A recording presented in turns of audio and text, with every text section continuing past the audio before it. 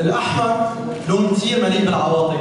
استخدموه القدماء مشان يعبروا عن السلطة، القوة، الغنى بس يا ترى الأحمر اللي عم نشوفه بيعبرنا عن الحب، الحرية، الشهوة، الشهية، الطاقة كل شيء بيعتمد على الأحمر من وين ألاقيه يا ترى الأحمر هو صورة شفة؟ طيب هالشفة يا ترى تعبرنا عن شو؟ عن الكلام والتعبير لما بتتحرك ولا عن العواطف لما بتبتسم أو بتزعل؟ ولا عن الحب لما بتقبل؟ يا ترى شفة مين؟ مارلين مونرو لأندي ورا؟ ولا هي كلها على بعضها عبارة عن أوهام وهي ما شفة هي عبارة عن تفاحة تفاحة يا ترى هالتفاحة تحكينا عن شو؟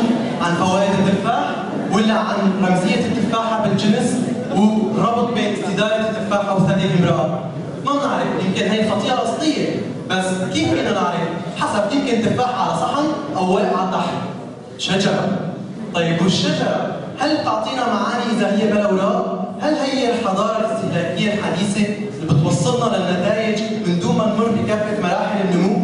هل هي رمز للبنك والربح السريع؟ أو هي رمز لطفل الأنبوب؟ كل شيء بيعتمد وين هالشجرة؟ بالجنة؟ بين آدم وحواء؟ يمكن آدم نظرته كثير فيها ثقة بينما حواء بين إنه نظرتها هي عم تغوي، بس ما عم تغوي آدم، عم تطلع علينا، يمكن عم تغوينا، يمكن هي عبارة عن نظرة البنت اللي أنا صورتها وقلت لها ظبطي حالك شوي هلا ما بيقبلوا لي الصورة بيكشفوش حالها. يمكن هي الصورة بتأثر فينا بشيء وبتأثر فينا بشيء ثاني إذا كانت بنطاق آخر، إذا كانت إعلان تجاري لعطر نينا ريتشي، أكيد بتفقد كل معناها الفلسفي، يمكن الصورة هون عم تحكي لنا عن الفترة اللي بيقضوها زوجين سعيدين المساء وهن عم بيتفرجوا على التلفزيون، يمكن عم تحكي لنا عن الكمية اللي بيقضوها عواطف يطلعوا بوش بعضهم عم طلعوا على شاشة. طيب كيف عرفنا أنه هن زوجين؟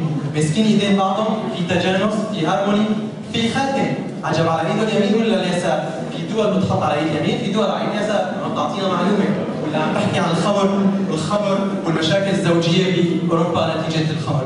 إذا طلعنا على الإيدين من نظرة أخرى من 180 درجة، عجب تعطينا معلومات ثانية وين هن ساكنين؟ عجب هن بأوتيل ولا ببيتهم؟ هل الدرج بيعطينا معلومات عن فئتهم الاجتماعية والاقتصادية؟ هل السجاد هو هون رمز للاستقبال ولا هو السجاد اللي بنحط بالحفلات الراقصة؟ ممكن رقص بالرقص في عندنا كثير أنواع فالس تانجو طيب ليش التانجو ارتبط باللون الأحمر والأسود؟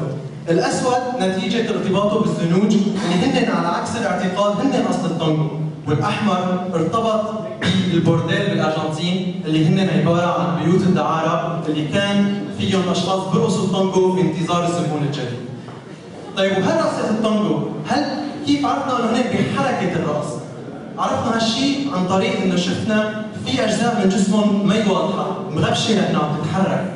طيب وهالورد اللي على الأرض شو بيعطينا معلومات جديدة؟ كلها عبارة عن وجهات نظر.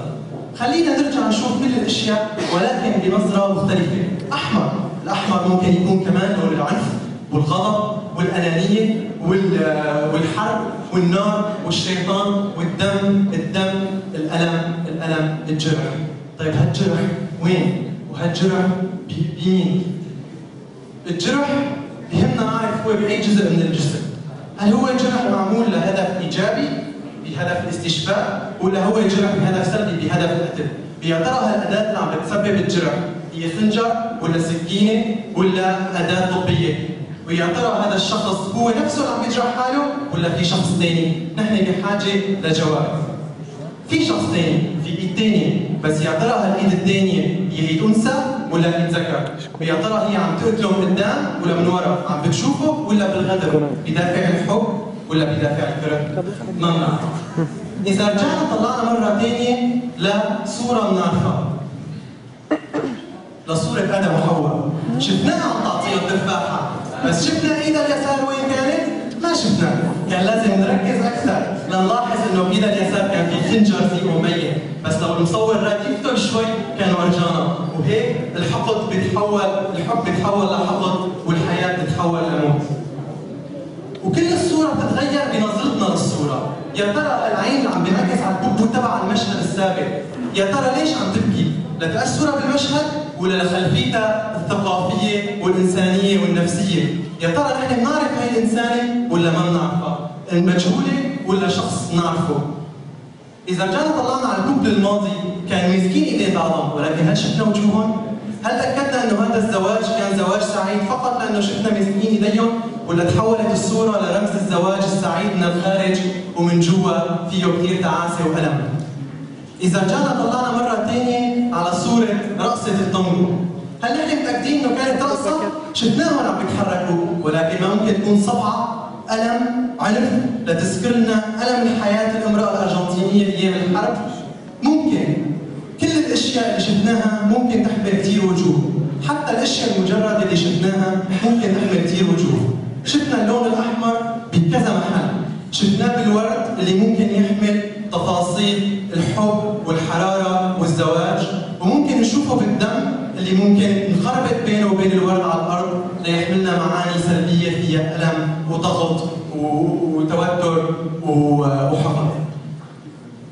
أحمر مره ثانية ولكن ما بنعرف الأحمر من وين، ممكن يكون أحمر تفاحة، ممكن يكون نسيج بشري، أنا التقطت واحد بالعمليات، ممكن يكون عبارة عن قطعة من وردة.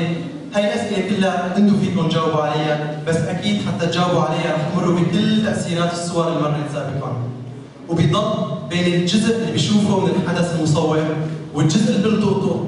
والصورة اللي بتنطبع والإطار الموجودة فيه ونحن تأثيرنا وتاريخنا ونفسيتنا على الصورة بيبقى العلاقة بين الصورة واللي بوصلنا وجهة نظر.